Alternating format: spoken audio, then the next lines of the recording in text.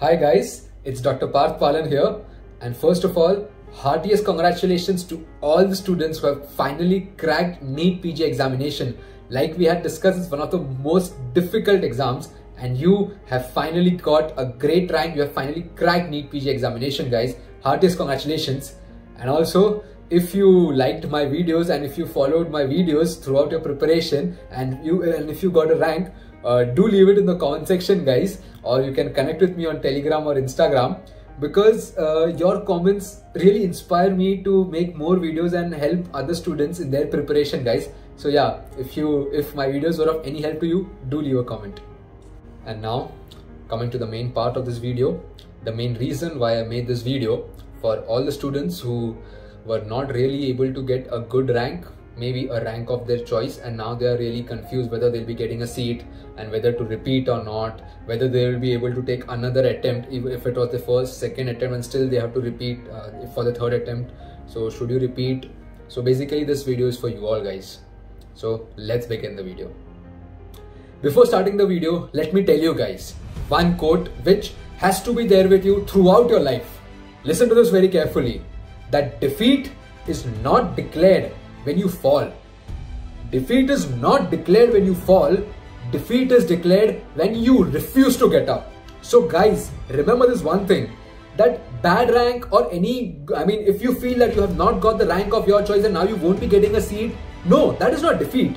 Defeat is declared when you decide that, Abhi, yaar, I have lost all hope. Now, what am I going to do with my life? I don't feel like living.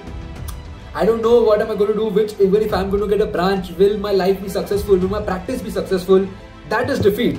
Staying at one place and regretting this again and again and thinking of this again and again, that is defeat. And that is why I purposely made it a point that I don't make a video just after your results because in that moment, you know, and least one or two days after your results, you, I mean, it's very natural that you all must be in that mental state that life is not really fair that I why I, I, used to get such good rank. I scored so much in my GTs and then finally on this one day I couldn't score. And there is nothing wrong in that, guys. Three hours, three hours to decide someone's future. That is impractical. All these national level exams are really impractical if you go to see. Nobody can decide your worth in those three hours of exam. And so now that time is over. Those two to three days after your results when you are you are feeling really sad. No. Now is the time to think what next? So what next guys? So now what you are going to do is you are going to concentrate on your counseling on all the branches that you want.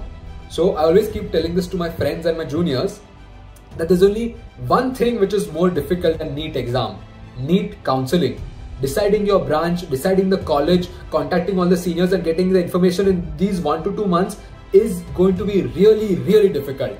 And so how you are going to go about it Number one, the most, the dictum, the most important rule of counseling is never give up. Never give up. Because there are so many surprises in counseling as you as, as you go through first round, second round, you will find that till the last round, you can get any seat. I'm telling you guys, any surprise, any seat you can get if you stay till the last round.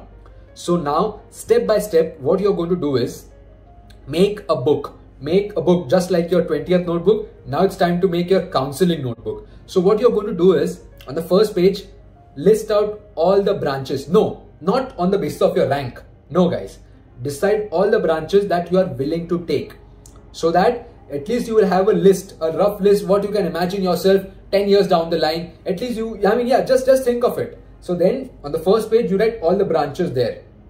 And then you find all the previous years, like at least two years list of all the rounds, round one, round two, round three, mop up round, bring, I mean, search on Google all the list of past two years counseling ka list, and then you check each branch top to bottom, where are the seats going. So on the second page and third page, you're going to make a list of the first rank, I mean the first college, and then the colleges around your rank. So if you say your rank is 10,000, so 10,000 ke upar, 10,000 ke niche, you know, plus, plus minus 2,000 range mein, what all colleges, make a list, make a list. Now it's, it's uh, more important than your 20th notebook guys. You have to have this notebook. It's very important.